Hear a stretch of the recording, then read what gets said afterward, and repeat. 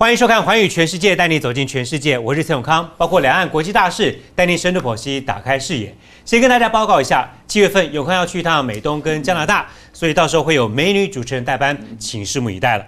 还有很多网友反映啊，希望我们的节目能够增加每一集、每一个礼拜播出的次数。我们看到大家留言，也不断的努力往这个方向发展。不过有些因素还需要克服，请大家这段时间帮忙持续的按赞、分享、订阅。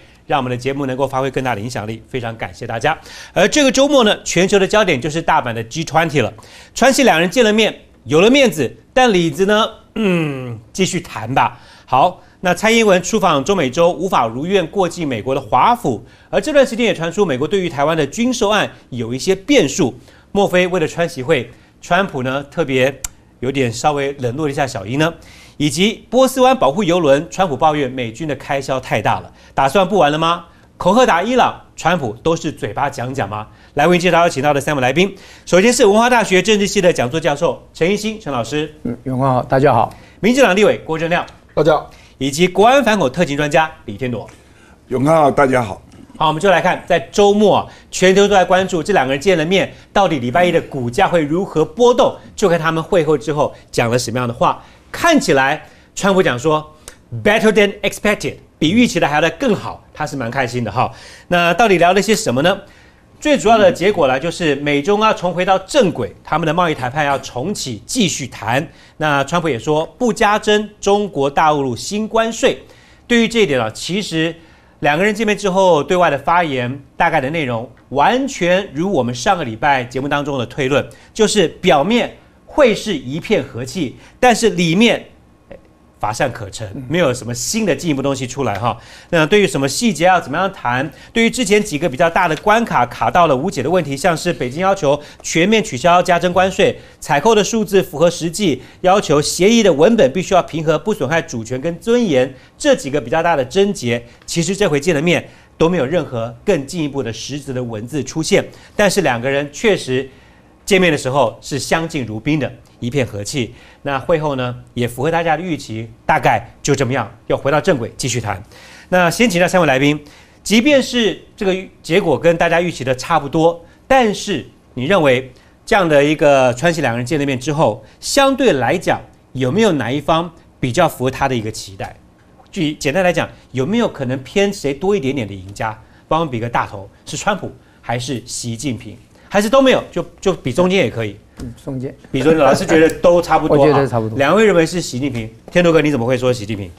哎，我，你看刚刚川普跟他的见面到最后离开的时候，嗯，川普动了一下嘴巴，讲了 thank you，习近平没没没吭气，习近平没吭气。你看待会儿要要要走的是最后的时候，哦，嗯，他脱脱口而出，再转过来待会儿的时候握手的时候，是啊。所以按照这个画面的表情来来看呢，哎，哦，就这个动作，对他没有，他拍他的时候讲了一个 thank you，那个唇语讲的 thank you 啊，所以基本上按这个画面来看，天哥，你们做维安特勤就还特别关意查别人的唇语啊？你不是你一定要看嘛？啊，他在他在什么时候，他的手怎么动，动到哪里，都有含各种意思的，因为川普很了解电视画面跟这一些问题。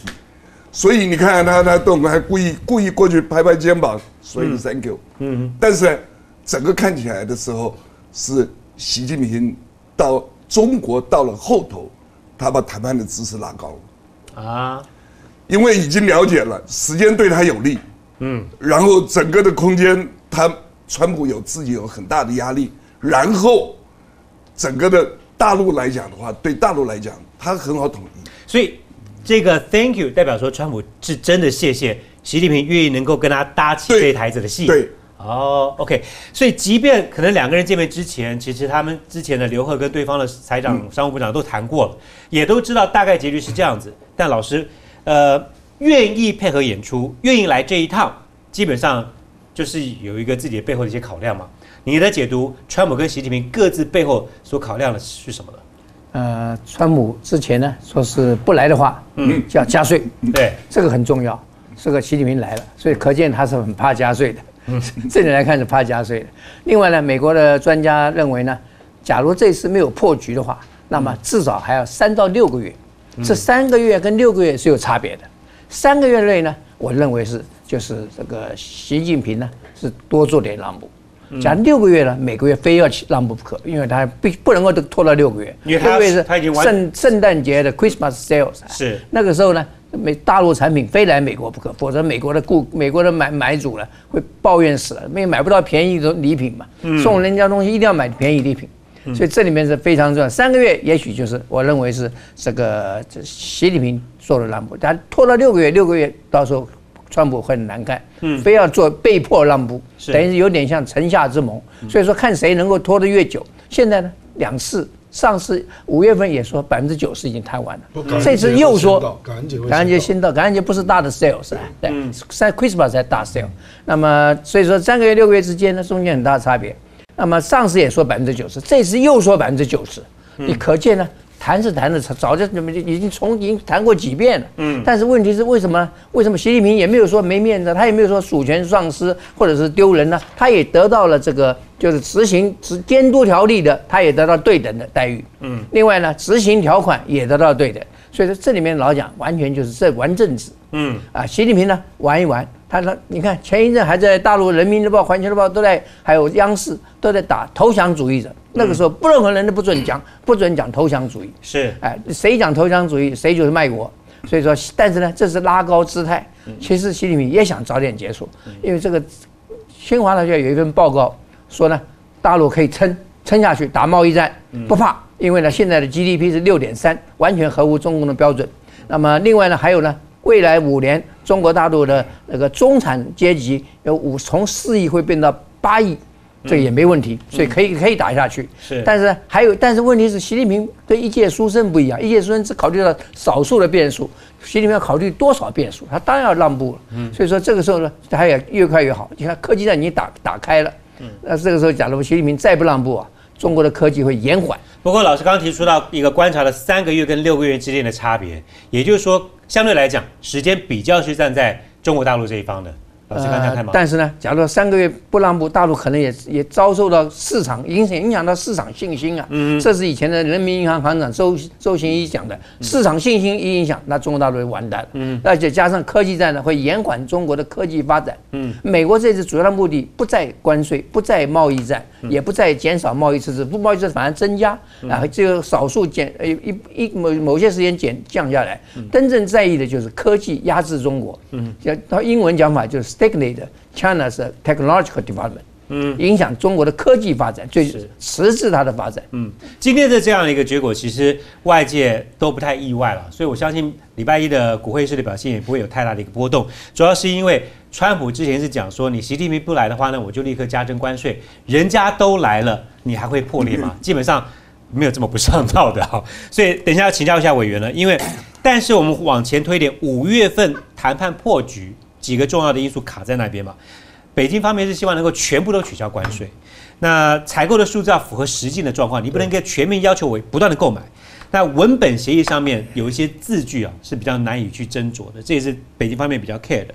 但是你觉得这一次见了面之后，这几个问题在未来几个月当中会有比较实质的进展吗？我觉得不容易啦，因为比如说他说那个补贴国企，我不知道是不是不谈啊？嗯，那补贴国企。如果要减少或禁止，那几乎是不可能的了，因为那个就是中国模式嘛。嗯啊，那另外就你刚刚讲到，就是互相查验啊。那美国本来只是要单方查验啊，那我不知道美国是不是会愿意再变成双方查验啊？嗯，你可以查，我也可以查，这样啊。然后另外就是有关那个他讲了一大堆有关科技的部分啊。那这次华为是让美国并没有让嘛。可是川普的问题在哪里呢？因为他说未来不加征税啊，嗯，这句话会被人家解读成说未来的谈判期间不再额外课税啊，那也就是说那两千亿就停在十趴，嗯，那原来那个五百亿就是二十五趴嘛，嗯，可是两千亿就不会迈向二十五趴，然后三二五零那个听证会大概也停止了，就第三步最后一步就会停我，就停止了嘛，嗯，那这样的情况之下，对中国大陆来讲，怎么会有压力呢？对中国大陆来讲，我就说，那我们就耗着吧。嗯，因为谈判期间你不能加薪税啊，你不是承诺了吗？嗯，所以除非川普是不是到时候又要提出一个新的 deadline？嗯，所以你如果这个时候不给我谈定啊。对，今天川普的说法等于是说，如果还在谈判期间之内的话，不能就不加新关税对啊，对啊对不对？那对于北京来讲的话，那就这样继续吧。当然了、因为那十趴已经透过人民币贬值冲销掉了嘛，嗯，所以市场并没有压力啊。然后到最后，如果拖到明年的话，是你川普要竞选连任，对不对？你要交成绩我们。陈老师讲的很对啊，嗯，就是你如果三个月不立下 deadline 啊，嗯，那我就给你耗到圣诞节啊，是啊，耗到圣诞节是谁输啊？你就受不了了。老百姓一买东西变贵，明年你川普还要选吗？对对？所以重点还是在于习近平他要的就是你给我解除抵制华为嘛，嗯，那这个部分川普是不是会丢出一些让步了？比如说谷歌啊，嗯谷歌虽然也怕说到时候这个手机的软体变成三个三分天下，嗯，所以谷歌现在也在游说川普说，哎，你干脆不要叫我抵制华为吧，啊，那我不知道在未来的三个月，川普愿不愿意用这个去跟北京的关税做交易啊？华为这部分，等下再进一步来请教委员，因为现在就连美国企业都找到方法，怎么样出货给华为，而且像看起来美国政府是有睁一只眼闭一只眼的一个感觉哈。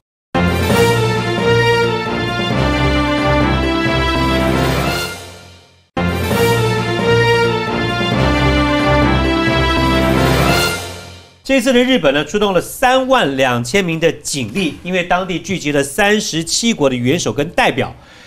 这个让我看了蛮惊讶的是，连日本的黑道山口组都说，既然国家这么尊重重视这个会议，我们黑道放假不上班，放暑假这个周末黑道不上街，红灯区呢也自动休业，小姐也找不到，老大出门也没酒喝，所以尽量呢都不要闹事，全国来配合。哎，第二张照片大家看更厉害了，有人说这个是在拍，呃，末日灾难电影吗？这是大阪最繁忙的一个阪神公路啊，这个平常是车水马龙的，居然没有车子，全部被交管。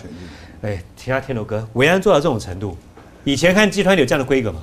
呃，不是，因为他已经在操兵了，嗯他为的是那个冬奥在准备，啊，所以他整个的警力必须动员，他要去试整个社会让步的底线在哪里。所以黑道，黑道他们日本黑道是合法的公司啊，嗯，哎，他的最重要的来源，第一个酒店，第二个赌场，第三个就是红灯区，嗯，所以他不管是正面或者底下施压，告诉他停，嗯，他就停看看，是。哎，停看看以后，这一次的集团体对日本来讲，因为他很久没有举举办这么大的这种这种阵仗，所以他把它做做出几个方案来 test。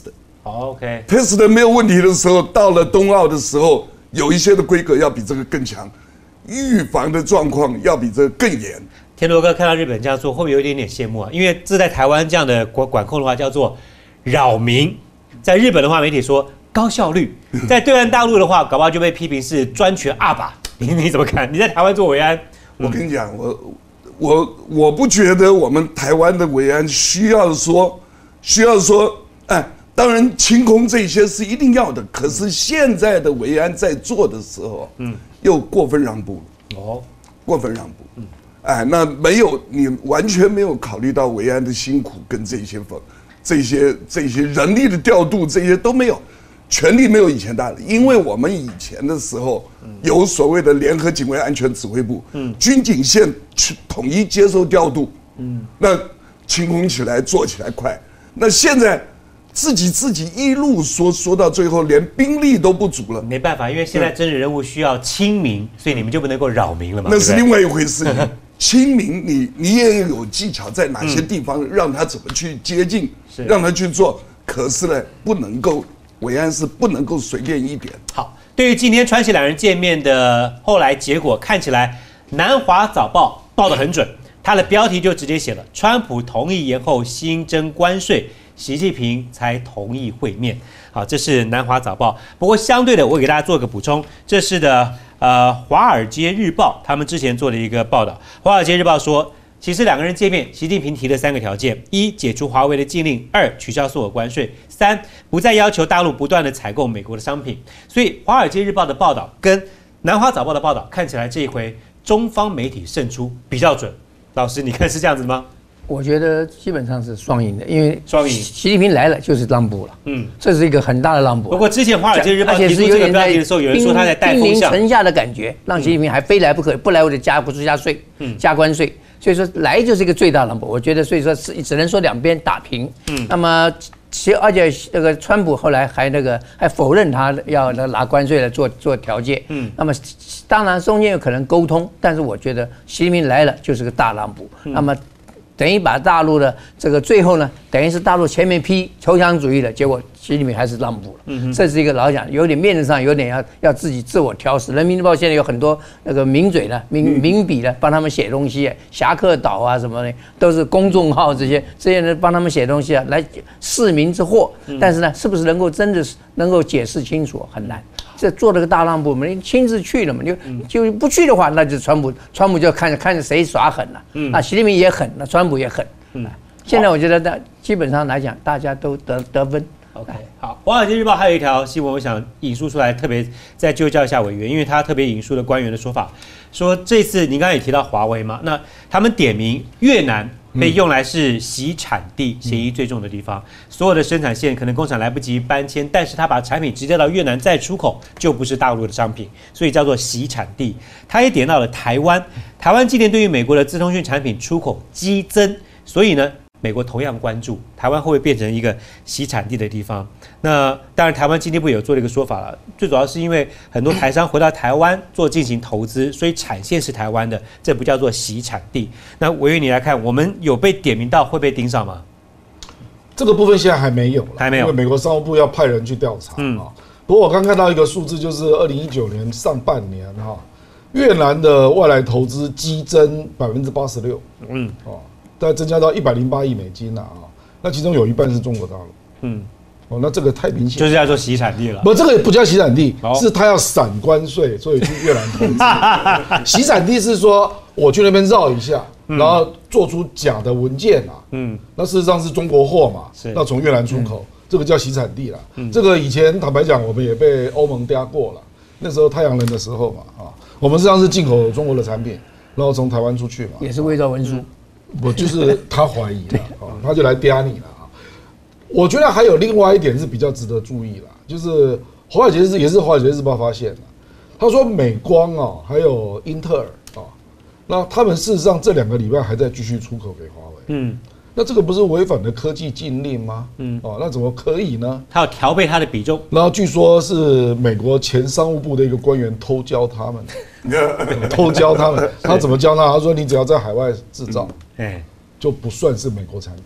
嗯，那这点居然被他闪过去了。而且华尔街日报还称赞了啊，结果美光当天股价涨三个 percent。这叫做帮。民间气味寻活路，找漏洞啊，找法律漏洞啊，找法律漏洞。可是就说，哎，美国商务部也不追究，嗯，那等于就是说，事实上，你华为禁止输出一些零组件啊，嗯，尤其美光这个是关键零组件嘛，嗯，也是继续在输出。委员呢，如果美国政府都不追究的话，是不是有带出一个风向？接下来可能华为在美中贸易谈判当中。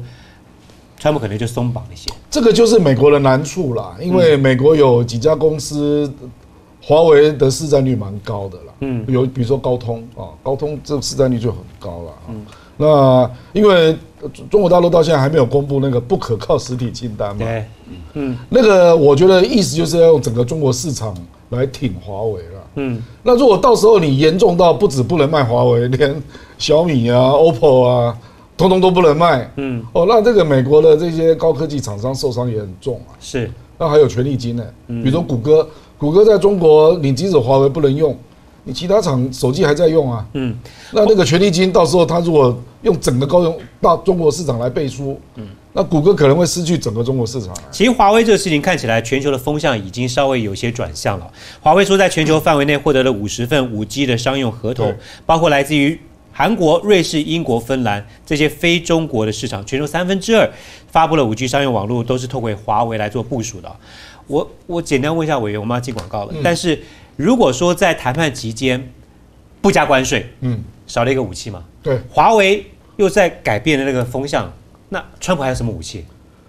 呃，货币战吧，货币战。其其可是现在也打不起来了。我说实在话。华为事实上在五 G 布局本来对美国来讲它就没皮条了，嗯，它这是在抵制华为是手机的部分，嗯，哦，就是你手机不能使用我的 APP 嘛，这个是真的打到华为的海外手机的部分，是，那你这个地方要不要让？啊？嗯，那可是我没有看到川普有进一步的筹码了，好，目前没有看到。川习会的结果不让人意外，比较让人意外的是什么呢？这个礼拜六的上午，川普是连续发了两三条 Twitter。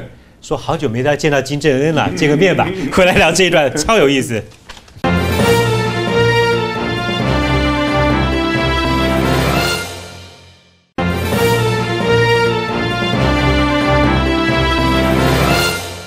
川普人在大阪，不过他周六一大早呢，连续发了几个推文。他接下来说，团体结束以后，他要去韩国。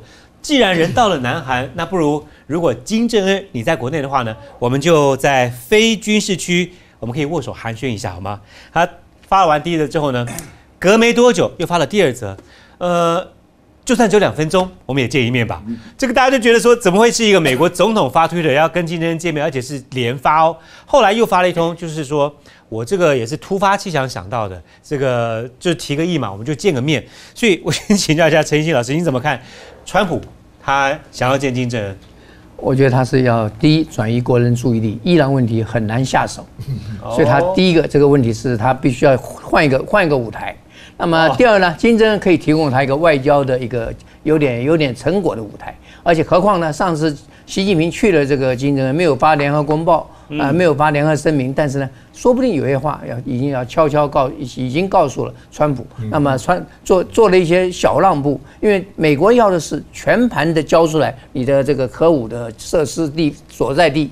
现但是美那个韩国是来北韩是不可能的，所以金金习近平跟金正恩商量之后是部分交出部分，这个是北韩可以接受的，而美国呢不接受就拉倒。所以说，这个是可以达成一个让川普得到一个外交成就的一个很好的机会啊！其实见面拿 credit 就对了。对他这个并不是说是真的能够这就把核武什么解决掉，不可能的事。川普也不会就是突然早上睡觉起来就想金正恩嘛，不可能是突然就发推特嘛，应该是应该是跟习近平见途中就已经就就已经想，因为在了川普就说在跟习近平两个人正式见面之前的前一晚，他已经跟习近平就是比较不是正式场合当中有谈到话。会不会是当中已经知道金正恩上次跟习近平见了面讲的内容？应该是那那个内容呢，现在还不还不大，我们还没有看到公诸于世。但是呢，可想而知，一定是一点好消息。否则老讲。这个金正恩也一直也要找突破啊，他这个为什么今年他六月十二号的时候写八月公发一个函给大家，就是说我想再恢复去年的那个六月十二号第一次呃这个川金会，那么这次呢，现在所以他必须要做点小让步，大让步都做不到，小让步却可能做到，所以我认为呢，这是唯一川普能够得得到的一个外交礼物，否则的话，伊朗问题僵僵局现在真的。敢打吗？我很怀疑。嗯，那么以色列是早就想打，想帮美国打，但是呢，会美国控制他的武器，控制他那种这个穿地弹，因为那个伊朗的都核武设施都在地下，是，所以说以色列只有很少的穿地弹不够，所以一定要靠美国。美国掌控武器就掌控以色列，换舞台换焦点，所以见金正恩对川普来讲也算是这个阶段的一个救星了哈。请教一下委员，那如果要见面，要么见面礼？这个之前有一些上次第二次见面的时候。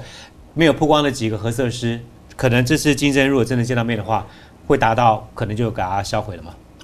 不，有人说金正恩愿意再多加一点点嘛，再多加一点，就是就是美国有发现一些嘛，嗯，那再多加一些。其实陈老师刚刚讲的对了，就是相对于伊朗啊，川普要在中国或北韩得分是比较容易的啦，啊，因为中美贸易战就是看你美国愿不愿意停止嘛，嗯，那事实上中国已经愿意多买了嘛，多买已经确定了嘛。嗯，然后对外开放也有好几个项目也开确定了嘛，那美国就得分啦。嗯，那只是说川普愿不愿意在这里就喊停了、暂停了啊？那北韩也是嘛。事实上，金正已经愿意收掉部分了，那你也算得分啊。我愿意你观察北韩这么久，你有没有听过北韩的官方的网那个媒体回应会是美国总统的提议很有趣？Interesting，这样的回应，这不要不像是美北北韩我们认识当中的官方的一个说法。他们这样回应，你你觉得什么？这样的回应就是有兴趣，那希望你多说一点。就这个意思，应该是这样。所以两个人真的有可能见到面。我觉得有可能。你觉得有可能？坦白讲啊，中美向好的向方向发展，嗯，一定会联动到美国跟北韩向好的方向。是。搞不好这趟川普行来集团里，跟习近平算是表面好，但实质没有太大的进展。这么周旋了一圈，见了文在寅，也见了安倍，搞不好最大的一个成绩单回到美国国内是见了金正恩，销毁了多几个，金正恩多加一点的一些内容。好，来，不过我们看一张这张照片，请教一下田螺哥了。这个照片让人觉得不可思议，就是习近平跟川普在正式会面之前前一天，事先跟安倍，先跟日本。中日方面呢，会有已经有了一个双边的一个会谈，也达成了十项共识。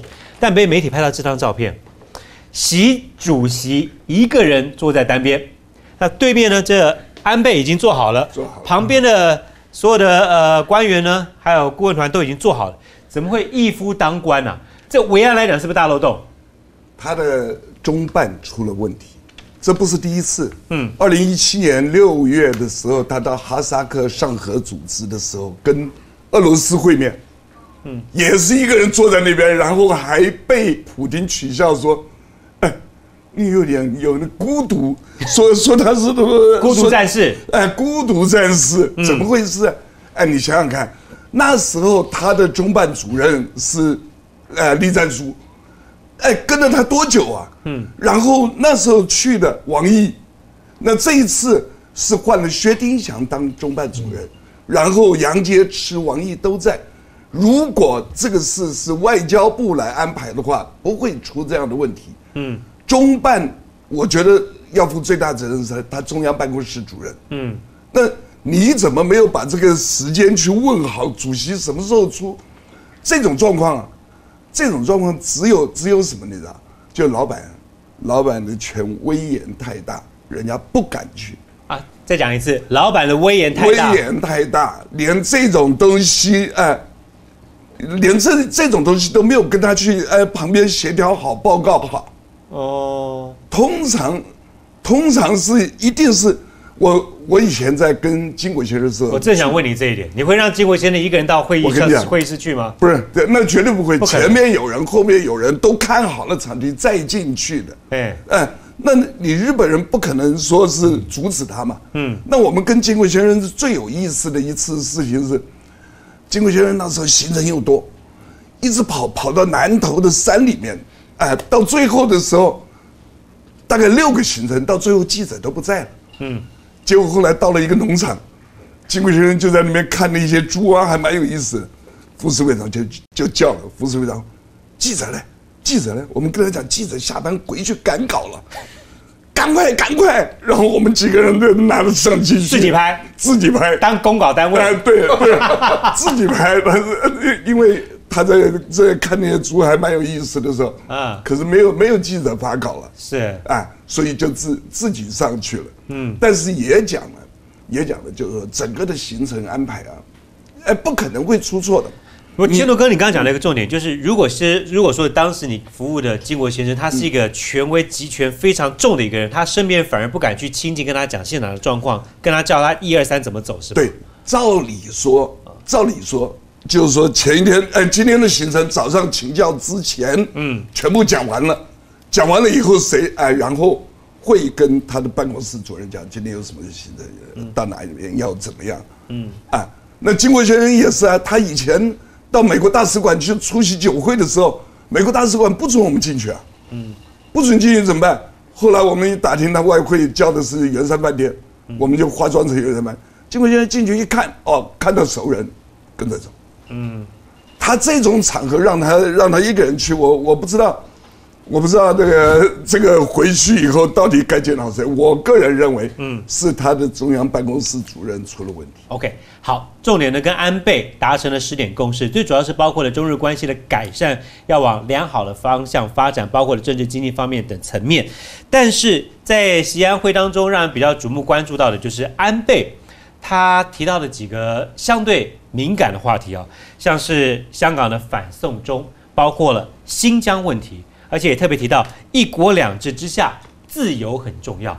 不好意思，委员，这个嗯蛮敏感的事情啊。嗯，安倍为何会在跟习近平两个人见面，而且要达成这么多共识，要中日友好啊？你看这样的一个前提之下，会去有点戳到痛处。这个确实有点意外。你觉得有点意外？可是不是主主要的内容嘛？嗯，因为主要内容还是因为明年是冬奥嘛，是啊，所以他邀请习近平春季，就是因为不是主要内容，他还提出来，也让媒体报道出来，这才让人觉得说，为什么你要提啊？因为日本实际上目前在贸易战也好，或者是科技战也好，嗯，还有甚至包括反送中啊，都是站在美国这个阵营的，嗯，你通通都没有提，也很难交代吧？你觉得安倍讲的话有某种程度是川普透过他希望他讲一些吗？这个是 G 二零哎，不是日中高峰会，嗯，所以 G 二零的新闻这个只是穿插其中一点而已。安倍事实上见很多人呢，我们也看到他跟。他跟美国还有印度不是有一个三角会谈嘛？对不对？然后他也见韩国，方方面面都见了。嗯，所以这个新闻如果其他其他那个，比如说在跟美国还有印度那个场所讲的话，然后在这里通通都没有，我觉得这个也很难交代了，因为这个毕竟毕竟不是日中高峰会了。OK，很简单，这个习呃川普呢不需要要对那个习那个安倍呢耳提面命。他讲过一句话，就说：“我对于这个日美日安保条约有意见就够了。”他就吓坏了。安安安倍就晓得知知所行止，该怎么做就清清楚楚了。所以这些是美国希望听到的，他就讲出来。那他既然提了新疆，既然提了香港反送中，怎么没提到台湾问题呢？台湾问题呢？这个是美国跟中国的问题，所以他不必插手。他讲这几个就已经够让川普满意了。你又讲到香港，又讲到一个一一国两制。还有一点，嗯，对于日本跟中国来讲，他们的关系还没有完全走到正常。他们认为就是说，一定要等到等到习近平正式访日，嗯，完成以后，嗯，才是中日关系正常化的开始。嗯，那在开始之前。他提这些问题还可以，真正的关系正常化以后，可能就不能提了，就不能提，还不方便。所以到明年过后，这些话题就会在台面上。他就看着什么时候习近平正式到日本访问。嗯，哎，这个这个东西也是有，而且他们要选举啊。嗯，那自民党内部还是有一些右派啊。嗯，你还是要照顾一下。好美国媒体在川普跟呃这趟集团里之前有提到一个报道，这是彭博引述了三位消息人士报道，就是刚刚老师提到的，川普其实对于美日安保条约不太高兴，也是认为美国花很多钱，而且美国承诺要帮日本打仗，但如果是美国打仗呢，你日本不用帮我，只要看透过收你电视机收看我们的战况就好了，是不公平的。所以此言一出，安倍当然就比较担忧哈。那安倍呢，真的不愧是？川普的非常好的亚洲的朋友哈，安倍就立刻提出了这个图，跟川普做解说。你看，我们在一个月之内，包括的在 Kentucky、Tennessee，还有这个 Michigan 五个地区呢，都加码投资美国。此图一出，川普龙心大悦，就非常开心。所以现在感觉得出来，安倍真的是非常的懂川普心里面想什么，毛顺着摸就对了。委员这一点很厉害哈，嗯，哎，小英马上要去美国访问了，过过境 要过境，要不要准备类似一些图说？嗯，我我觉得安倍应该事先也知道美国要他买东西啦，要增加对美投资啦，嗯，他就你刚刚讲了嘛，顺着毛摸嘛，啊，那因为他大概已经摸清楚川普这个人的个性，嗯，就喜欢在一个这个高兴的气氛下，那大概就什么事都好谈啊。实际上，你也不要以为北京没有给川普礼物哎，他这两天刚好传出来，中国突然增加对美国买大豆买五十四万吨，嗯啊，是，那当然还是很少啦，因为去年买了一千六百多万吨，嗯，可是怎么会这个时候突然来加加订单呢？嗯，哦，买美国的大豆了啊，是，所以多少也有啦，就希望说，哎，既然你要来嘛，而且你也承诺你不要不会加税，那我也要来，那就让氛围更好一点。嗯。还是有这个味道了。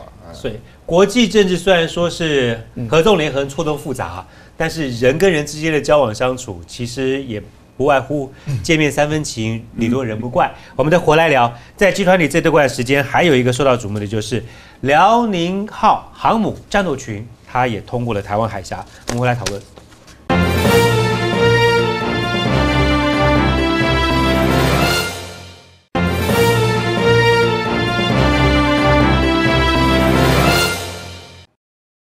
G20 的前夕啊，台海之间，台湾海峡也蛮热闹的。来看的是辽宁号的航母舰队群啊，这次呢不但是绕台，而且呃也到了太平洋西边，甚至逼近到了南海，还有这关岛。所以有人说，这次不只是绕台，这是辽宁号航母呃舰队群，它算是陈俊来最大的一次呃算是远洋的演训啊。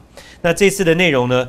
呃，给大家看一下，除了自己的航辽宁号之外，还包括了两艘的驱逐舰、两艘巡防舰、补给舰，还有好几艘的核动力潜舰。时间在六月的二十五号。那当时呢，辽宁舰进入台湾的海峡之后，美国 P 八的侦察机也进入台海的上空，持续的追踪辽宁号。对于这个海上出现的状况，老师你认为如何？它的用意跟它的希望达到用意之后的效果如何？因为美国这一阵的军舰呢，呃，都出入在台湾海峡中线这一带。嗯，那么连加拿大、呃、澳洲呢，好像也都有，日本也之前也有过。那么所以说，所以说这里面台海这一段时间比较紧张。所以说，尤其呢，美国这个带头的，所以说美这个中国大陆一定要还以颜色。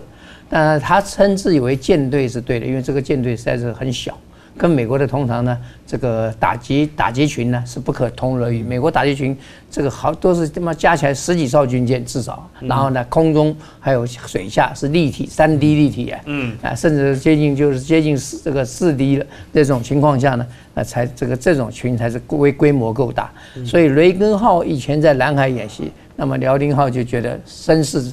跟你跟那雷雷根号的差太远，雷根号十八分钟起降了十八架 F 十八战斗机啊，那就是表演给中国看，你能不能做到这一点？做到这一点，没有二十年的训练是不够的。嗯，这就是所以说，这这个辽宁号呢就相形见绌啊，啊，所以说这点来看呢，大陆现在只是。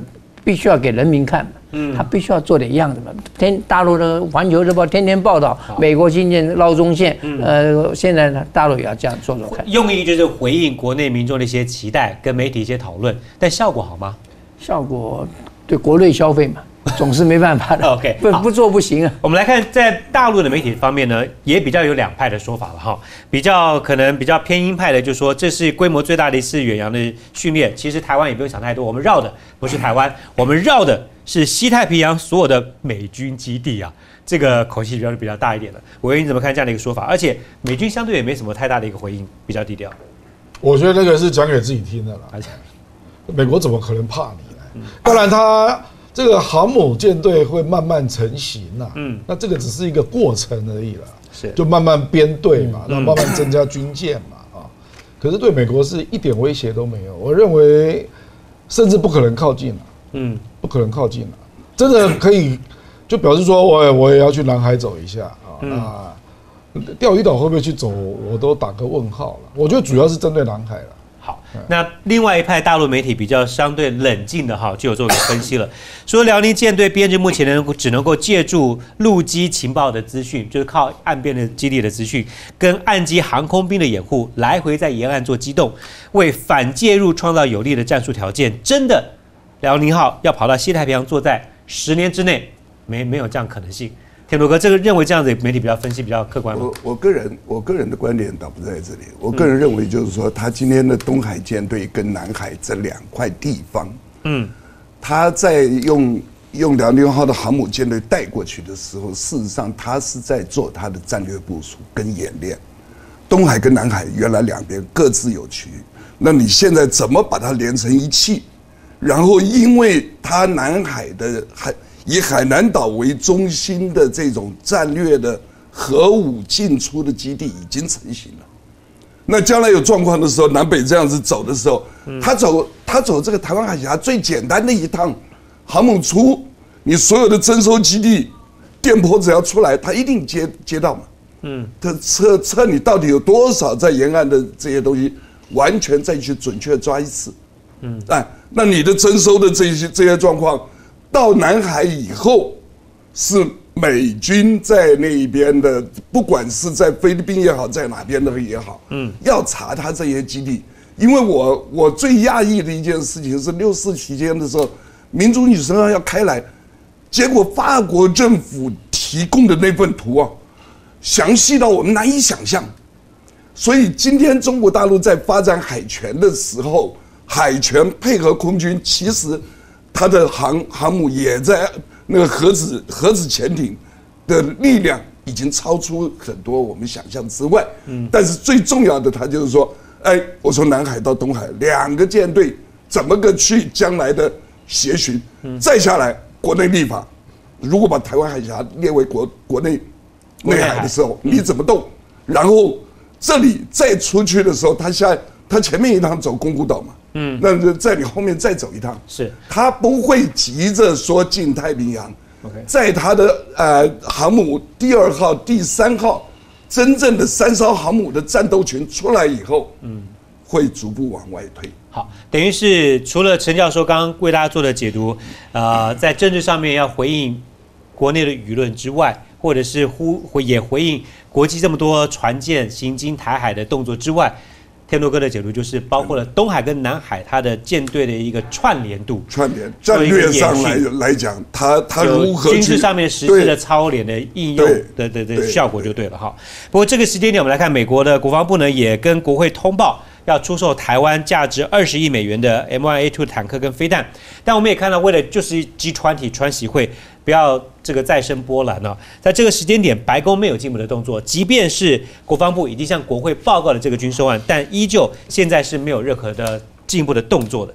但是 G20 之后呢，这个军售案就会开始进行销售或点交了吗？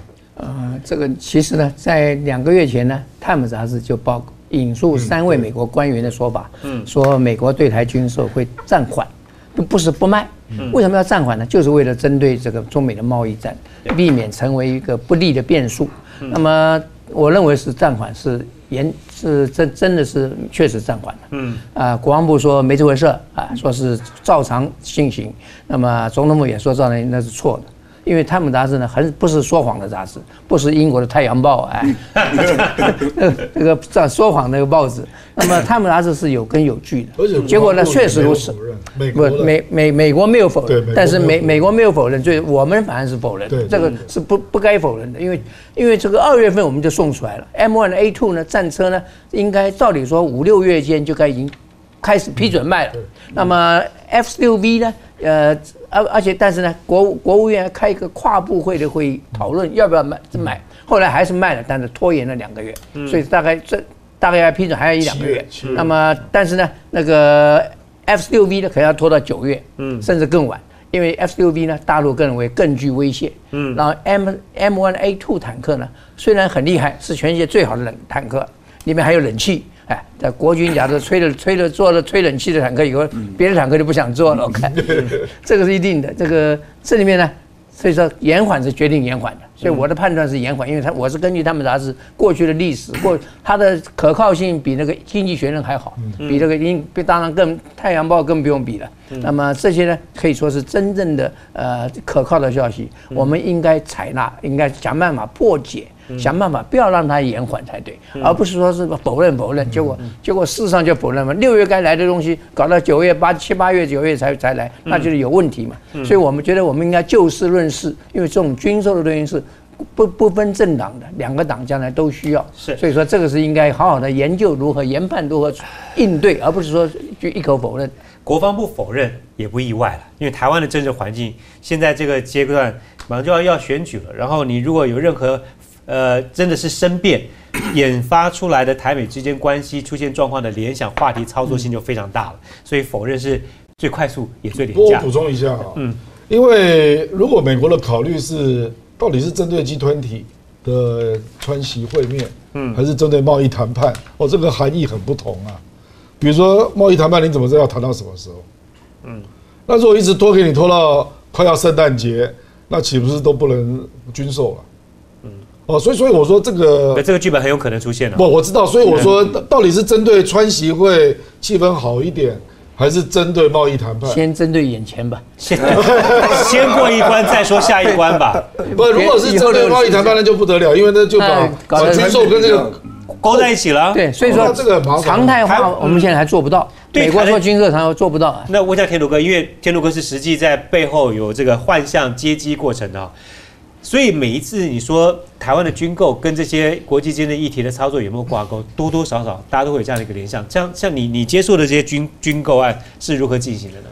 基本上第一个保密最重要。我们跟美国当然它有一套的制度在动，嗯，那就是说我们如何在最有利的情况下争取到最大的资源。嗯那可是按照现在来看，美国始终把这些问题跟政治、跟他国内的利益挂钩挂在一起。挂在一起，所以一个好的军售要成功，第一个保密。现在挂在一起，以前没有这样子挂在一起吗？以前以前挂的时候，以前我们跟他谈的时候，还有例行的这个军军购团在那里。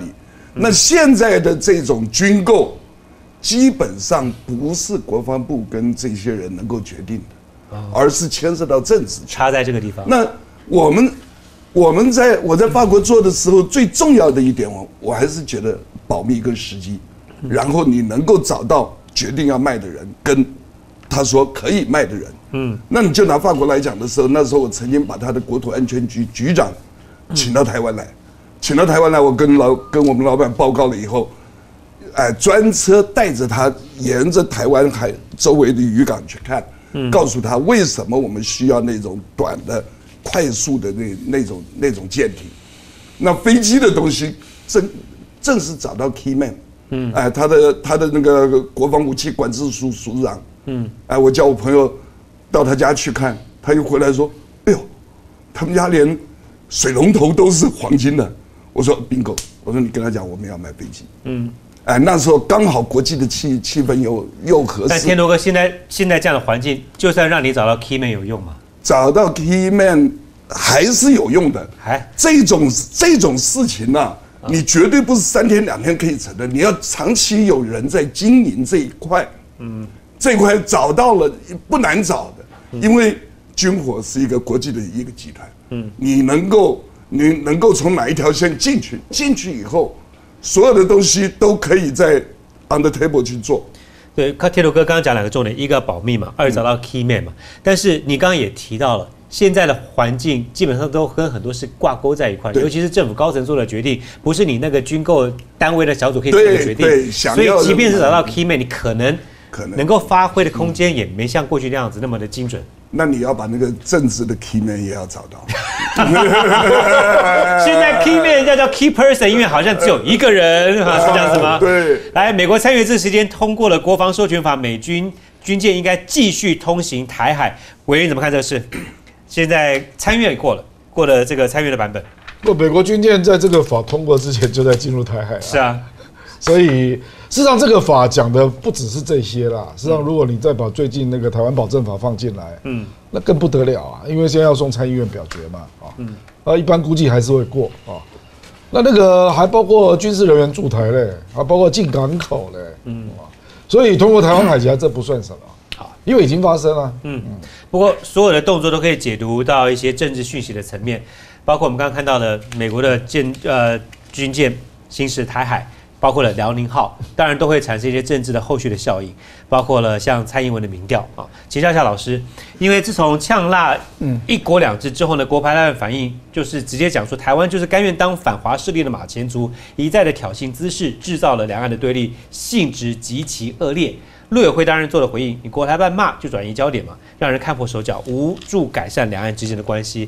但不管怎么样骂，骂来骂去，骂到最后捡到枪的都是蔡英文。老师这段时间看蔡英文也算是创了蛮大的一个，嗯，呃，台湾政坛上面的，我觉得也可以用奇迹来形容，因为从党内的初选可以从落后七八趴一路到赢七八趴以上，到现在，等一下广告回来给大家看他的民调已经是全部 KO 了，可能不管是你是白的柯文哲，或者是蓝营可能人选，现在现在蔡英文是全胜，请教老师简短跟我们讲他的民调大回升，有媒体点出了四点。一。因为民进党初选结束，所以呢就会有花车效应聚集的效果。第二，反送中让台湾民众心生畏惧，所以蔡英文他的巩固主权的形象再次的提升。第三，本来民调不会看好，现在一路窜升，有人觉得他像是创造奇迹的灰姑娘，也因此好感度增加。第四，国民党自己乱乱成这样子，让蔡英文取得先机，一路上捡到枪跟炮。老师，你来看是天佑小英吗？最近跟好几个大陆团体见面，嗯，我说这个过去大陆给蔡英文的两把枪是收不回来了，但是呢，以后不要再给他新的枪。呃，第二个呢，国民党现在没有定于一尊，所以他现在民调会高。哎，国民党成成立一个分裂状态，虽然没有真的分裂，但是是有点很有，而且是有点动气，有些人在动气，有些人在动怒啊。那么这个当然会影响国民党，因为很多人认为担心国民党没什么没什么机会的胜。原来在二零一八九合一选后呢，胜选的机会现在好像越来越低了，这个也会对蔡英文好牌变相公，就是当然像当然国民党定于一尊之后，情况会改变。那大陆假如不再提供他两把第三把枪的话，嗯，我认为还是有机会。所以老师，这个将来会剪刀交叉，黄金交叉。你好，你说，呃，如果不再提供给枪的话，可能会有些改变。所以你认为下半年的北京的一些政策上的做法会调整吗？第一个做法就是像战中事件不会再提了，这个是自然死亡的一个法律哎。那么要提也是很简很单纯的一个这个移送而已，不是跟没有引没办法做引渡嘛，只能移送。第二个呢，我觉得很重要的一个点呢，就是这个他在国民党定于尊之后呢，基建绕台这种可能不太可能。走中线还可能，因为走中线南南北北走走，那么有点是区域性的，不是针对台湾。走绕台就针对性太强了，所以说跟就会跟去年七月以后一样，大陆开始开始保持一个中立一个状况。嗯，那么所以说七七月正好也是国民党的初选结束。嗯，那么所以说这一七月以后大概差不多。第三个呢，大陆非常谨慎，不要再制造机会，因为。这这次呢，呃，包括第一把枪，习近平的第一把枪，呃，这个宋中事件的这个第二把枪，都是有点点出乎大陆意外。没想到台湾反应那么强，而且正好给蔡英文连接起来，把这个那个一国两制跟九二共识也把它画上画上一个等号。那么让国民党呢，本来那个胜那个它优优势的一个项优优势的一个强项呢，就变弱势。现在当然。这个两岸政策还是国民党的强项，还是会抓得回来了。呃，不会说是让蔡英文长期这样，而且选后选举期间变化很多。嗯，呃，我们相信呢会有很多变化，不会让蔡英文长期保持这样的一个优势。老师是反推去年的二零一八十一月份的这个地方选举的开票结果，回推到二零一八七月。所以从二零一八七月到十一月，两岸之间基本上是风平浪静，也没有绕这个战机或者是军舰绕台的事件发生，这就是大陆比较克制的一个做法。所以你研判在接下来今年七月份国民党定于一尊之后。相对同样的，也不会有战机绕台、军舰绕台事件发生，这是北京会相对克制会出现的一个做法。我认为，就算不是七月，最最多也只有八月，因为我们这次会延到一月十一号才选，上次是十一月二十四号就选，所以时间上呢可能有一点调配，但基本上来讲，大陆是不倾向于采取挑衅或者是这个刺激台湾的这个动作。所以大陆算的就是五个月时间消化，差不多五个月。我们休息片回来看蔡英文的最新的民调，还有小英护主权，接下来到美国。他要过境的是纽约，会有什么值得期待的火花？回来聊。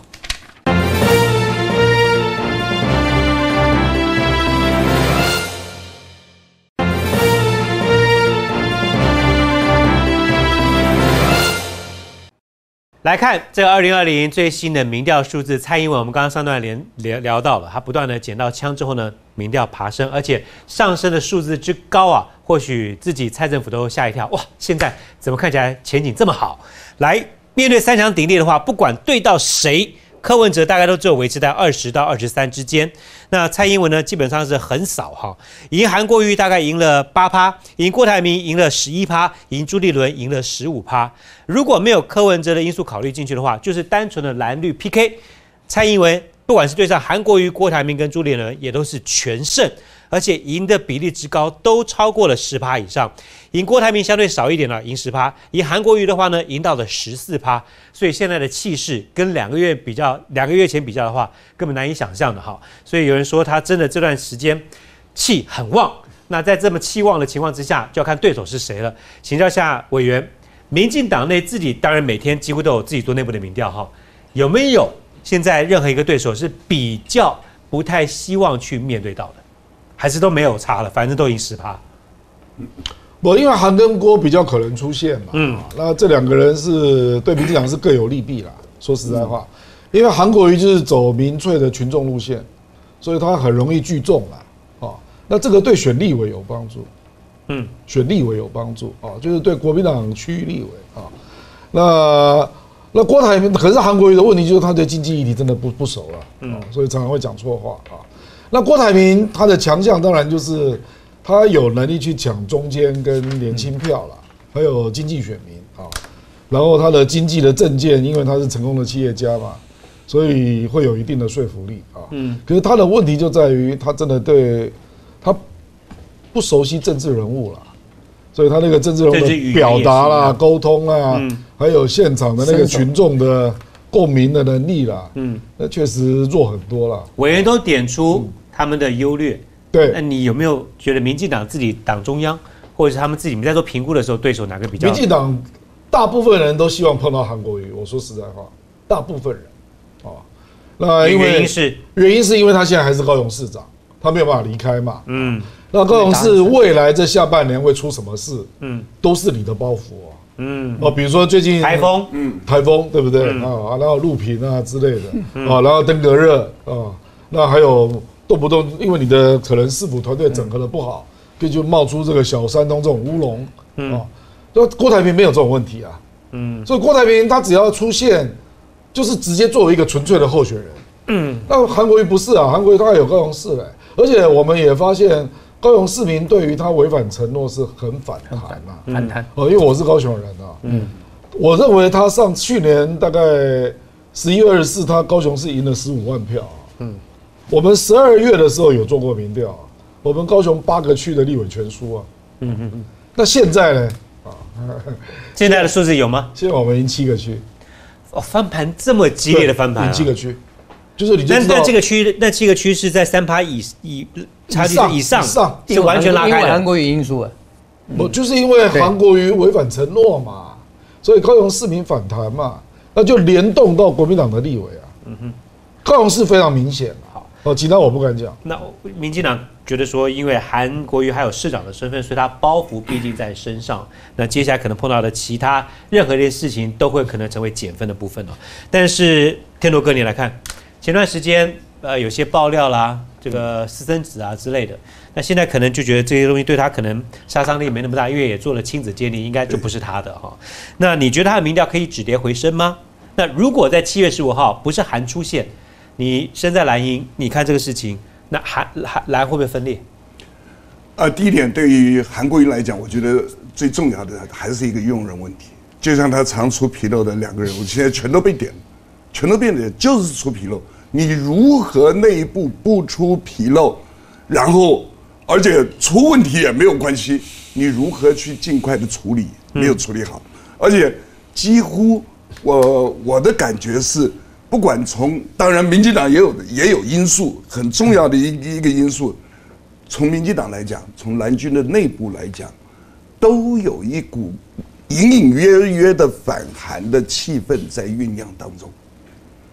这个这个部分的时候，从从上次几次的民调来看，就是说，他的韩粉的保持率在一百万一百从一百零八万降到现在的时候一百万出头。有动摇，但是呢，还有一个就是说，他一次的操作，把所有的这个总统大选的规格拿来当这个，当这个操兵，嗯，操到最后会兵疲，而且相对引起的反感是很大的。那么，蓝军到底会不会会不会去去分裂？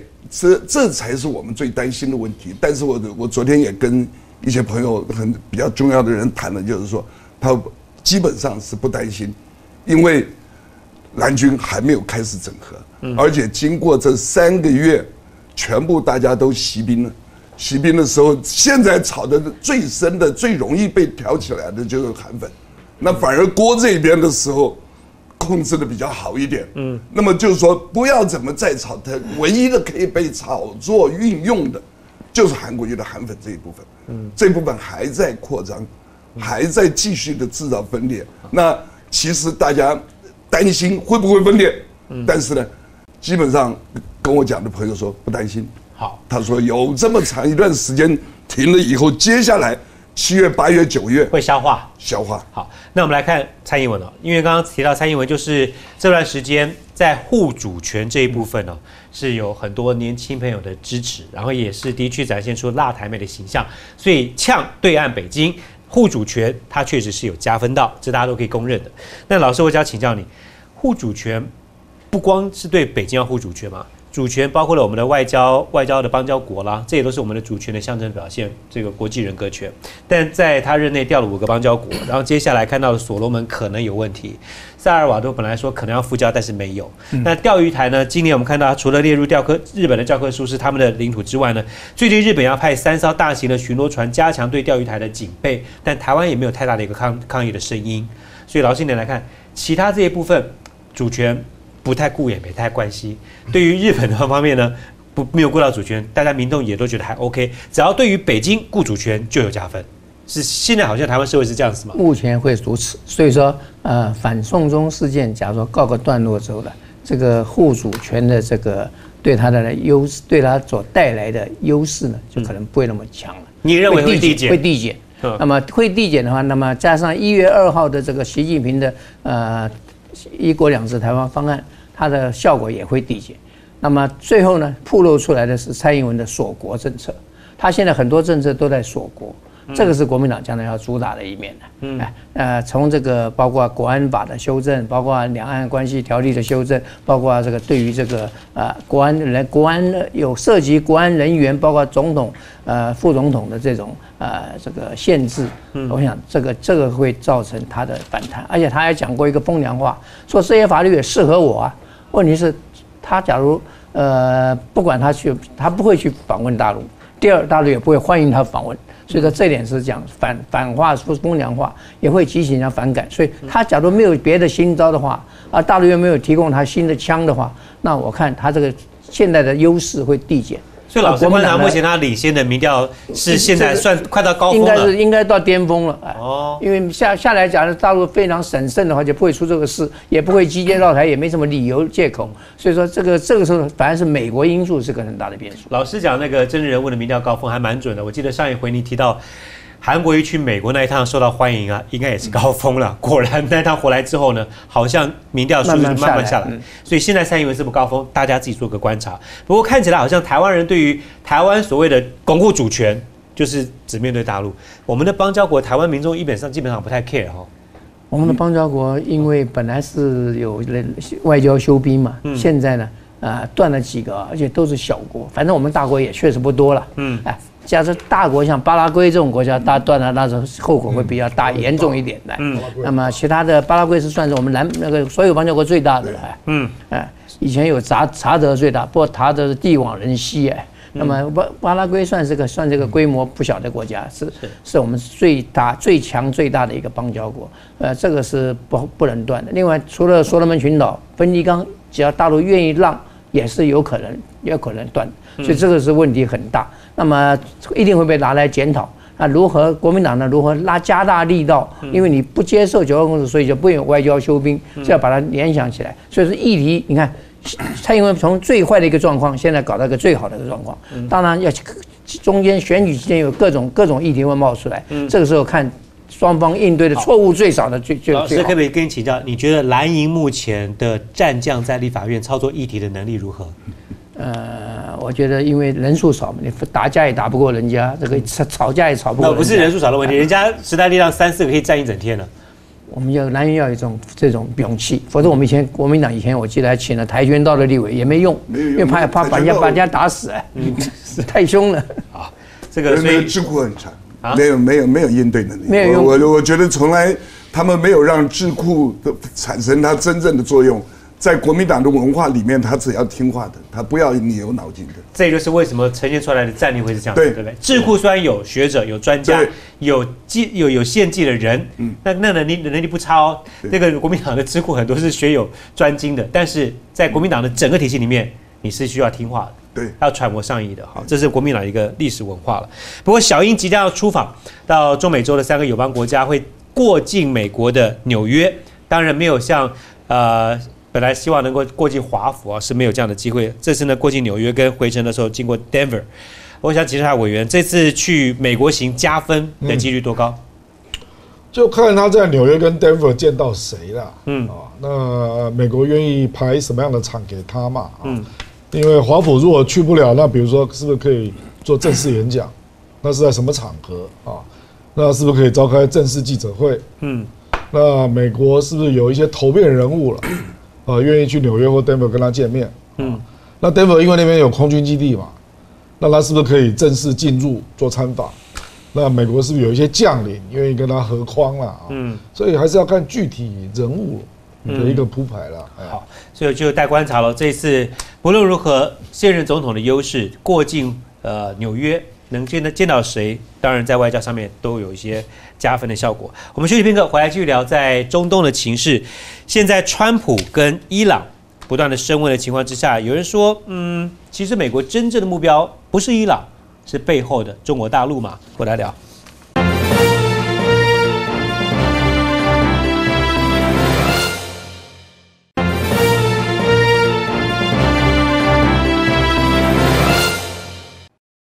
美伊的形势是否又出现了新的变化呢？因为川普啊，他左算右算，觉得说我干嘛呢？何必要那么多出钱出力保护大家的游轮呢？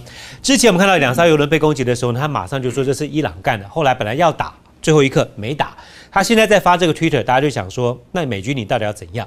因为他写说哈，呃，经过了解，中国大陆百分之九十一的石油经过这个海峡，日本百分之六十二，其他的国家也有很多船经过这个地方。那为什么这么多年来都是我们美国在保护这个航线的安全呢？但是我们没有得到什么回馈，这些国家你们开自己的游轮，你们应该自己来保护你们的船。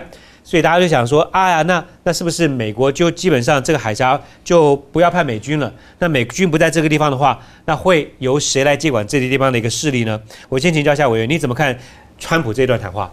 又在计较钱了吗？他显然太不了解美国在中东的战略布局啊，嗯，太不了解了。哦，他他还是着眼于钱就发了推文。不，他就是出大问题嘛。事实上，美国在这里布局。他主要的两个盟友，比如说以色列跟沙特阿拉伯，那刚好跟伊朗就是历史上的对手嘛。嗯，那历史上能够真的去对抗以色列，真的就只有伊朗，哦，他是够强的。嗯，这个是就这个中东的政治来讲啊。那第二个就是，事实上美国也在防止伊朗啊，连同中亚的石油，嗯，不用美元交易啊。对啊，这还联动到美元的石油美元的霸权的问题啊。所以你怎么可能只为了说，哎，你们日本跟中国，你们油都是从波湾来的啊？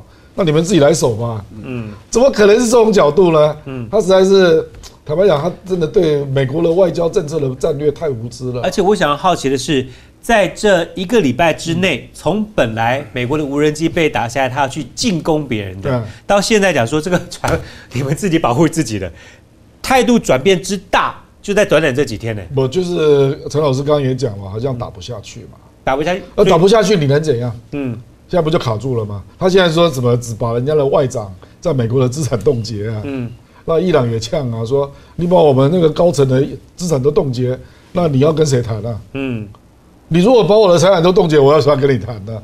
嗯，所以他都那又不用军事，然后又把重要的政治人物在美国的资产冻结，嗯，那你这样跟伊朗怎么进行呢？有点让人家觉得说打不下手，干脆撒手不管，有点有点这种 feel 啊。没有办法撒手不管啦，因为伊朗太重要了，非处理不可。天罗哥，除了以色列跟沙特阿拉伯这两个美国在中东的盟友之外，其他的中东国家听到了川普推的这样的发言，作何感想？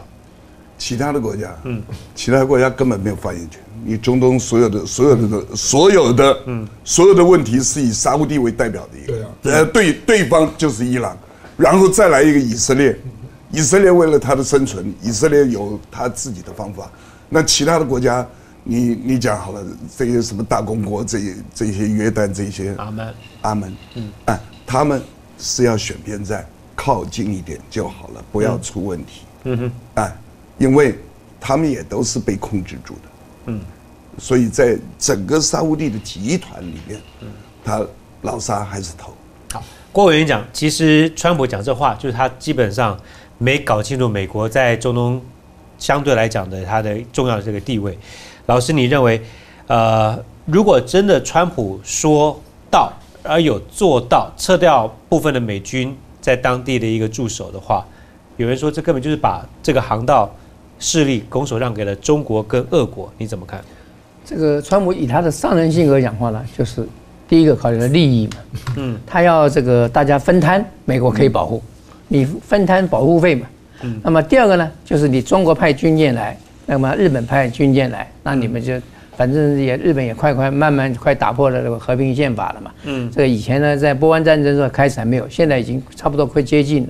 呃，可以那个慢慢派，慢慢增加军舰，中国也可以派军舰。那中国将来就要面对第一个可能是这个你你后面是海峡，不能够不能够让任何让伊朗封闭啊，所以中国要出点力。另外，中国还可能在这边碰到恐怖主义，就是逼着中共去反境外之恐。这这是美国的算计，所以他这个话，我觉得要从他的这个利益角度来看。嗯，美国第一，所以说我你这这么变反恐不是我一家的事啊。嗯。另外，石油也不是我一家的事，大家都要要就是大家出钱保提供保护费。嗯。要就是大家自己派兵，将来你要面对恐恐怖主义。所以说这个都有可能的。我认为现在他跟中共有很多东西要谈，所以为什么他他讲那句话说中要中共自己来派派派军舰来保护啊？我干嘛要我美国来保护他呢？没这个道理。所以他这个他这个算计啊，是跟传统的美国的中东政策不一样。不一样。但是呢，确实有会有效。所以为什么川普的始终的支持者还是认为他还是能够代表保守主义的一个一个想法？老师，你觉得他这一番谈话有没有给做球给安倍的味道？因为安倍不管是要修宪，或者是要这个自卫队走出，日本的修宪一路都是美国扶持的，嗯，都是没有没有一样不是日本，有没有搭给台阶给日日本自卫队？日本本来就要去修想修宪，但修宪修不成，至少我要能够变成一个正常化的一个国家，这个是可能的。修宪是比在日本是不太容易，但是呃，他会慢慢让他一步一步的朝这个方向做。所以说美国呢，这个倒不是川普独揽，每一个总美国总统都在鼓励日本朝修宪的方向走。嗯。包括这个提高那个呃预算超过宪宪宪法规定的百分之一。嗯，刚刚委员提到这个美国川普后来就是对于呃伊朗总统鲁哈尼进行了金融制裁嘛，哈。那这个部分你跟后来想要就是抑制恐怖分子或者是断核武，能够达到那样的一个效果吗？因为他针对是个人。不，那你要不要跟他谈呢？嗯，你你你说要跟伊朗和谈呢？嗯，那不用经过他吗？当然，我我我鲁阿尼，我现在金融资产被你冻结，对啊，我为什么要跟你谈？嗯，你首先要帮我这个解除冻结啊，嗯，不然我怎么跟你谈呢？那但川普的目的就是我冻结你之后，你来跟我谈啊。他冻结你之后，希望你能够来。不，你现在就是这个是他自己想的嘛。可是我被处罚的人，我就说你没有解除，我不跟你谈嘛。嗯。目前就是这样啊，那不就是等于吹对川普来也讲，反而自己丢下了一个制裁的动作，反而将了自己一军呢？是啊，我们坦白说啊，伊朗那天敢把他的全球鹰打下来，嗯，这是冒很大风险的，他他怎么敢打呢？这边有个故事，伊朗那个伊朗打下全球之鹰是有跟有好几年前就已经有策划了，在几年前呢，一架全球之鹰呢被伊朗引导到他的机场，啊，被俘虏了。他等于就全部解破，对，哎，你们都晓得这个故事吗？那就是表示说，伊朗打这个飞机是太容易，而美国很笨，美国应该从台湾买这种什么无人机啊，哎，那个台湾飞机被打来很便宜，这个无人机很贵，哎，哎，它这个造价是 F 三十五的两倍，对对对对，上面的设备才是最重要。你看双方的呛声，这个伊朗总统鲁哈尼是直接算川普是一个智障，没用的，白宫都是一些智能迟缓。话讲到这么难听，双方领导人在互相的时候，身为国安人员哈，国安人员最怕的一件就是就是他们误判形势。所以天龙哥，怎么样去判读这些，不管是媒体上面的，或你们做到的形字的真真假假？而如果真的要开战前，有没有一个最直接的指标？真的要开战前的指标就是正常跟不正常。所谓的正常，就是说平常他都是这样；就所谓的不正常，就是说哪一天他通信完全断掉，然后。人员的异动，所有这些都开始出现状况的时候叫不正常。嗯，但是通常一般人在讲，就是说，哎，情报人员情报，其实情报人员做的是有限的。那么情报部门最大的、最大一块的人力用在哪里？用在分析研判。嗯，那分析研判就是说，所有的不管是外组，都是根据国内的需求发出指令。哎，我要求去。要求收集好，就拿伊朗来讲，会打不会打，可能打，为什么打？那打下来的这些状况是什么？所有的外组从不同的地方，譬如说在中东的，他直接的收这些人员调动有没有异常这些情况；在欧洲的收这些跟伊朗关系亲密的，然后他们的分析，美国的分析，这些不同的来了以后再做研判。嗯。哎，这个研判出来，才会让你没有误判。这是什么？什么是什么？什么？圆满了哎呦，是庆祝川崎会吗？啊！啊，祝我们还在录影哎影现场现场，啊！你今天生日啊？小小弟生日，不好意思，哇，你是巨蟹座啊。巨蟹巨蟹巨蟹座。好那就祝我们的节目，呃，所有的朋友呢持续支持哈，多多的按赞分享，我们把人数冲高，我们增加播出集数，好不好？加油加油加油加油！好，谢谢谢谢这个旅途平安顺利。谢谢谢谢谢谢谢谢。